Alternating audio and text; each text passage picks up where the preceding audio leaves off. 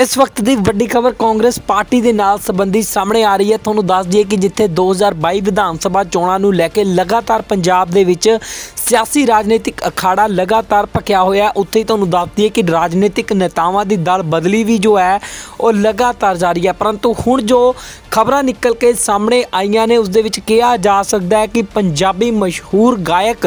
ਗਿੱਪੀ ਗਰੇਵਾਲ ਅਤੇ ਪੰਜਾਬੀ ਮਸ਼ਹੂਰ ਅਦਾਕਾਰ ਤੇ ਗਾਇਕ ਪਰਮੀਸ਼ ਵਰਮਾ ਜਲਦ ਕਾਂਗਰਸ ਪਾਰਟੀ ਦੇ ਵਿੱਚ ਸ਼ਾਮਿਲ ਹੋ ਸਕਦੇ ਨੇ। ਦੱਸ ਦਈਏ ਕਿ ਬੀਤੇ ਦਿਨਾਂ ਹੀ ਗਿੱਪੀ ਗਰੇਵਾਲ ਅਤੇ ਪਰਮੀਸ਼ ਵਰਮਾ ਨੇ ਆਪਣੇ ਪਰਿਵਾਰ ਸਹਿਤ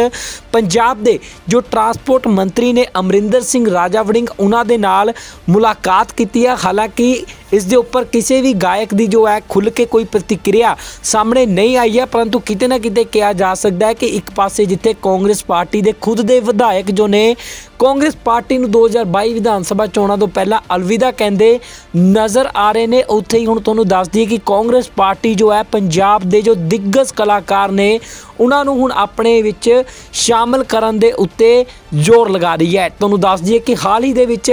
ਜੋ ਪੋਲੀਵੁੱਡ ਦੇ ਮਸ਼ਹੂਰ ਗਾਇਕ ਨੇ, ਸਿੱਧੂ ਮੂਸੇਵਾਲਾ, ਉਹਨਾਂ ਨੇ ਵੀ ਕਾਂਗਰਸ ਪਾਰਟੀ ਜੁਆਇਨ ਕੀਤੀ ਹੈ। ਹਾਲਾਂਕਿ ਉਸ ਦੇ ਵਿੱਚ ਕਿਹਾ ਜਾ ਰਿਹਾ ਹੈ ਕਿ ਸਭ ਤੋਂ ਵੱਡਾ ਹੱਥ ਜੋ ਹੈ, ਜੁਆਇਨ ਕਰਵਾਉਣ ਦਾ ਉਸ ਦੇ ਵਿੱਚ ਅਮਰਿੰਦਰ ਸਿੰਘ ਰਾਜਾ ਵੜਿੰਗ, ਜੋ ਕਿ ਪੰਜਾਬ ਦੇ ਟਰਾਂਸਪੋਰਟ ਮੰਤਰੀ ਨੇ ਉਹਨਾਂ ਦਾ ਕਿ ਉਹਨਾਂ ਦੇ ਕਰਕੇ ਹੀ ਉਹਨਾਂ ਨੇ ਪਾਰਟੀ ਜੁਆਇਨ ਜੋ ਹੈ ਸਿੱਧੂ ਮੂਸੇਵਾਲਾ ਨੇ ਕੀਤੀ ਹੈ, ਤਾਂ ਹੁਣ ਲਗਾਤਾਰ ਕਿਹਾ ਜਾ ਸਕਦਾ ਹੈ ਕਿ ਜੋ ਕਾਂਗਰਸ ਪਾਰਟੀ ਹੈ, ਉਹ ਹੁਣ ਪੰਜਾਬੀ ਗਾਇਕਾਂ ਅਤੇ ਅਦਾਕਾਰਾਂ ਦੇ ਵੱਲ ਖਾਸ ਤੌਰ ਤੇ ਧਿਆਨ ਦੇ ਰਹੀ ਹੈ। ਹਾਲਾਂਕਿ ਬੀਤੇ ਦਿਨਾਂ ਹੀ ਖਬਰਾਂ ਸਾਹਮਣੇ ਆਈਆਂ ਸਨ ਕਿ ਨਵਜੋਤ ਸਿੰਘ ਸਿੱਧੂ ਨੇ ਕ੍ਰਿਕਟਰ ਹਰਭਜਨ ਸਿੰਘ ਦੇ ਨਾਲ ਵੀ ਮੁਲਾਕਾਤ ਕੀਤੀ ਹੈ। ਜਿਸ ਤੋਂ ਬਾਅਦ ਹਰਭਜਨ ਸਿੰਘ ਦੇ ਵੀ ਪੰਜਾਬ ਕਾਂਗਰਸ ਦੇ ਵਿੱਚ ਆਉਣ ਦੇ ਉੱਤੇ ਜੋ ਹੈ ਕਿਆਸਨਾਈਆਂ ਲੱਗਣੀਆਂ ਸ਼ੁਰੂ ਹੋ ਗਈਆਂ ਸਨ। ਹਾਲ ਹੀ ਦੇ ਵਿੱਚ ਤੁਹਾਨੂੰ ਦੱਸ ਦਈਏ ਕਿ ਉਹਨਾਂ ਨੇ ਸਾਰੇ ਫਾਰਮੈਟ ਤੋਂ ਸੰਨਿਆਸ ਵੀ ਲੈ ਲਿਆ। ਹਰਭਜਨ ਸਿੰਘ ਨੇ ਕ੍ਰਿਕਟ ਦੇ, ਤਾਂ ਉਸ ਤੋਂ ਬਾਅਦ ਕਿਤੇ ਨਾ ਕਿਤੇ ਕਿਹਾ ਜਾ ਰਿਹਾ ਕਿ ਜਲਦ ਹੀ 2022 ਵਿਧਾਨ ਸਭਾ ਚੋਣਾਂ ਤੋਂ ਪਹਿਲਾਂ ਹਰਭਜਨ ਸਿੰਘ ਦੀ ਪੰਜਾਬ ਕਾਂਗਰਸ ਦੇ ਵਿੱਚ ਐਂਟਰੀ ਹੋ ਸਕਦੀ ਹੈ, ਪਰੰਤੂ ਇਹ ਦੇਖਣਾ ਜ਼ਰੂਰੀ ਹੋਵੇਗਾ ਕਿ ਉਹਨਾਂ ਨੂੰ ਚੋਣਾਂ ਲੜਨ ਦੇ ਲਈ ਮੈਦਾਨ ਦੇ ਵਿੱਚ ਉਤਾਰਿਆ ਜਾਂਦਾ ਹੈ ਜਾਂ ਫਿਰ ਇੱਕ ਸਟਾਰ ਪ੍ਰਚਾਰਕ ਵਜੋਂ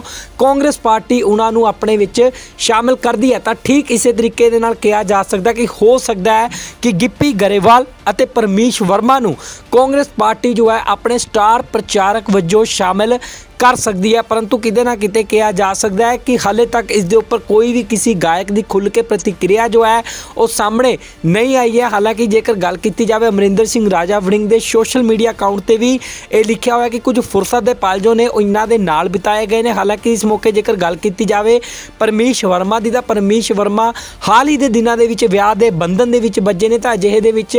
ਅਮਰਿੰਦਰ ਸਿੰਘ ਰਾਜਾ ਵੜਿੰਗ ਵੱਲੋਂ ਉਹਨਾਂ ਨੂੰ ਆਸ਼ੀਰਵਾਦ ਜੋ ਹੈ, ਉਹ ਦਿੱਤਾ ਗਿਆ ਹੈ ਤੇ ਹੋ ਸਕਦਾ ਕਿਤੇ ਨਾ ਕਿਤੇ ਸਿਆਸੀ ਗਤੀਵਿਧੀਆਂ ਵੀ ਜੋ ਨਿਕਲ ਕੇ ਇਹਨਾਂ ਦੇ ਵਿਚਕਾਰ ਤੋਂ ਸਾਹਮਣੇ ਆ ਸਕਦੀਆਂ ਨੇ, ਕਿਉਂਕਿ ਸਿੱਧੂ ਮੂਸੇਵਾਲਾ ਨੂੰ ਵੀ ਅਮਰਿੰਦਰ ਸਿੰਘ ਰਾਜਾ ਵੜਿੰਗ ਨੇ ਹੀ ਕਾਂਗਰਸ ਪਾਰਟੀ ਜੁਆਇਨ ਕਰਵਾਈ ਸੀ, ਤਾਂ ਅਜਿਹੇ ਦੇ ਵਿੱਚ ਹੁਣ ਦੇਖਣਾ ਹੋਵੇਗਾ ਕਿ ਕੀ ਕਾਂਗਰਸ ਪਾਰਟੀ ਗਿੱਪੀ ਗਰੇਵਾਲ ਨੂੰ ਆਪਣੇ ਵਿੱਚ ਸ਼ਾਮਿਲ ਕਰਦੀ ਹੈ ਜਾਂ ਫਿਰ ਜੇ ਕਰਦੀ ਹੈ, ਕਿ ਉਹਨਾਂ ਨੂੰ ਚੋਣ ਲੜਨ ਦੇ ਲਈ ਮੈਦਾਨ ਦੇ ਵਿੱਚ ਉਤਾਰਿਆ ਜਾਂਦਾ ਹੈ ਜਾਂ ਫਿਰ ਉਹਨਾਂ ਨੂੰ ਇੱਕ ਸਟਾਰ ਪ੍ਰਚਾਰਕ ਵਜੋਂ ਵਰਤਿਆ ਜਾਂਦਾ ਹੈ ਜਾਂ ਫਿਰ ਪਰਮੀਸ਼ ਵਰਮਾ ਨੂੰ ਵੀ ਕਿਤੋਂ ਮੈਦਾਨ 'ਚ ਉਤਾਰਿਆ ਜਾਂਦਾ ਜਾਂ ਫਿਰ ਉਹਨਾਂ ਨੂੰ ਵੀ ਸਟਾਰ ਪ੍ਰਚਾਰਕ ਵਜੋਂ ਵਰਤਿਆ ਜਾਂਦਾ, ਇਹ ਦੇਖਣਾ ਆਪਣੇ ਆਪ ਦੇ ਵਿੱਚ ਕਾਫੀ ਦਿਲਚਸਪ ਹੋਵੇਗਾ। ਪੰਜਾਬ ਅਤੇ ਪੰਜਾਬੀਅਤ ਨਾਲ ਜੁੜਿਆ ਹਰ ਮੁੱਦਾ, ਹਰ ਖਬਰ ਨਿਰਪੱਖ ਤਰੀਕੇ ਨਾਲ ਤੁਹਾਡੇ ਤੱਕ ਪਹੁੰਚਣ ਦੀ ਕੋਸ਼ਿਸ਼ ਵਿੱਚ ਤੁਸੀਂ ਵੀ ਦੇਵੋ ਸਾਡਾ ਸਾਥ। ਤਾਂ ਹੁਣੇ ਲਾਈਕ ਕਰੋ ਸਾਡਾ ਫੇਸਬੁੱਕ ਪੇਜ ਸਬਸਕ੍ਰਾਈਬ ਕਰੋ YouTube ਤੇ ਅਤੇ ਫੋਲੋ ਕਰੋ ਇੰਸਟਾ ਅਤੇ ਟਵਿੱਟਰ ਤੇ ਨਿਰਪੱਖ ਪੋਸਟ ਖਬਰ ਦੀ ਨਿਰਪੱਖ ਆਵਾਜ਼ ਵਿਜ਼ਿਟ ਕਰੋ